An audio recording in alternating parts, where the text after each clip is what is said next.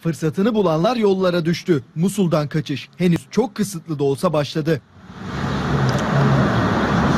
Kent merkezinden henüz çıkan yok. Kaçanlar çevre köylerde yaşayanlar. Irak ordusunun kontrolündeki Kayyare kasabasına ulaştılar.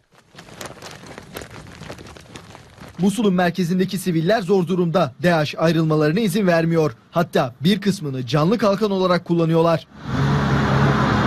Tahminlere göre kentte yaklaşık 700 bin sivil var. Militan sayısındaysa sadece tahminler var. Sayı 5 bin ila 10 bin arasında.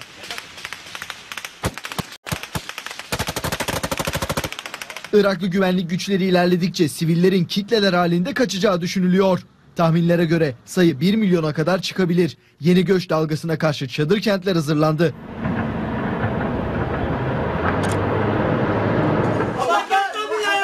DAEŞ'in sivillere ve güvenlik güçlerine kimyasal silahla saldırma ihtimali de bir başka endişe kaynağı. Yardım kuruluşları en kötü senaryoya karşı hazırlıklarını yaptı. Bölgedeki sağlık ve yardım personeli eğitildi, gaz maskeleri sipariş edildi.